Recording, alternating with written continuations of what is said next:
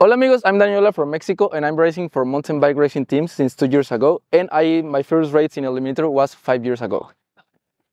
We are here in Barcelona. This is the last World Cup of the season and this is a, a, a track I really like. It's really fast, it's really technique. The stairs are really dangerous. Last year I crashed in the stairs but I think I will not make the same mistake. I think the key of this uh, World Cup is start really hard because it's really short and if you are in the front you can win.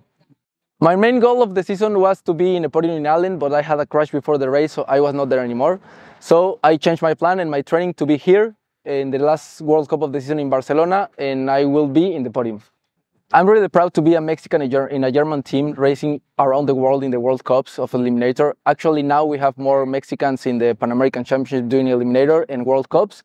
Even we're gonna be in Palangka Raya in the um, World Championship uh, do, wearing the national jersey. So we are really proud, and I hope in the next years we have more and more more Mexican cyclists around the world.